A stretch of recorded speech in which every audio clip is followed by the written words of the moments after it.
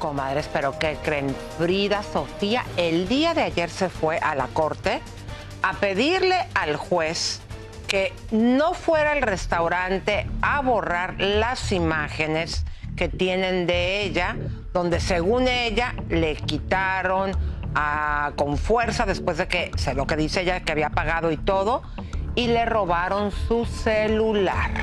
Yo lo que Esta tengo entendido. eh, sí. ¿Qué? A ver, tú dime. No, que se le cayó por el pantalón cuando el tipo la estaba arrestando el policía. Que se le cayó a Frida el celular. No se lo sacaron. Pero se acuerdan que ya lo habíamos este, comentado que el restaurante podría ser libre de borrar las imágenes si lo quisiera hacer. Lo que pasa es que a Frida Sofía ya se le complicó porque fue lo que dijo el policía, el video que también dijo la vocera de la policía que lo tienen todo en cámara y lo que el policía también dice en su reporte es completamente lo opuesto a lo que dice Frida Sofía. Por eso ella quiere que no vayan a borrar el video para mostrar que cuando menos el celular dice que se lo robaron. Y el juez dijo, no podemos obligar al restaurante, con sus cámaras hacen lo que quieren.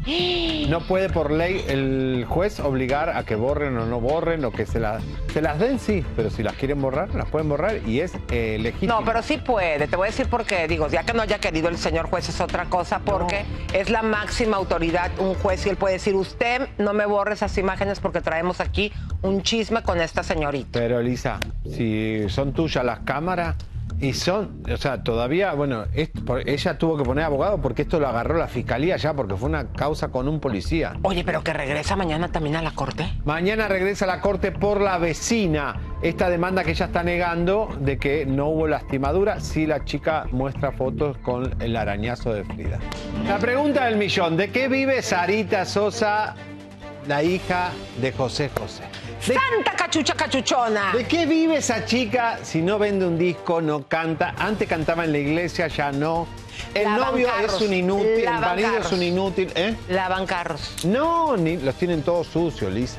Tienen ahí gente viviendo en esa casa que era de José José. Parece que están vendiendo cosas. Renta cuartos. No, Lisa, está vendiendo las cosas de José José y José Joel las Ah. quiere matar. Vamos. a ver. Eso me duele mucho porque sí, es, es- son muchas preseas, son muchos premios, sus trajes sobre todo, ¿sabes? Este, todas sus joyitas y cositas que tenías y todo eso. Eh, perdón, si bien todo eso no entra dentro de un testamento, ¿me entiendes? Pues está ahora sí para el mejor postor. Si esta niña sí lo está vendiendo, si esta niña está viendo de, subastarlo, de malbaratarlo, pues sobre su cabeza, ¿me entiendes? Desgraciadamente, pues nosotros no podemos tener acceso a, porque todo eso está en Miami, todo eso lo llevó mi papá, lo tenía en bodegas, lo tenía en la casa, lo tenía en, en- las, en las paredes y desgraciadamente, pues eso sí está en manos de, de estas personas y pues te repito, con la intención de poder llegar y ver qué es lo que podemos salvaguardar. Sí, estamos eh, entrando ya a la tercera etapa, si se acuerdan les comenté eran cuatro etapas, estamos entrando a la tercera etapa en donde, te repito, tenemos que dejar muy establecido bien primeramente México, ¿no? Y lo que es el testamento para poder llegar allá, justamente para ver si, ay, no les quiero decir mentiras, no sé si mayo o junio podemos ya estar llegando a Miami para ver qué está pasando allá.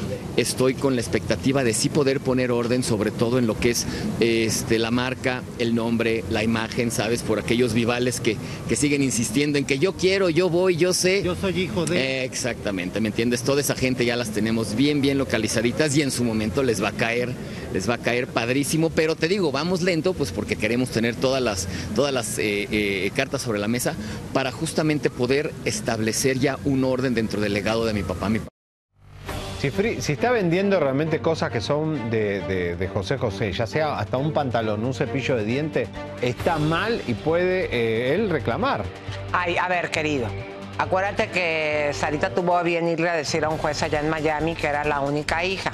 ¿Tú crees que se va a parar a vender un pantalón, un trofeo, una blusa? Le va a valer. Ah, no, Lo va a hacer. pero que le caiga la ley a la vaga esa de Sarita Sosa.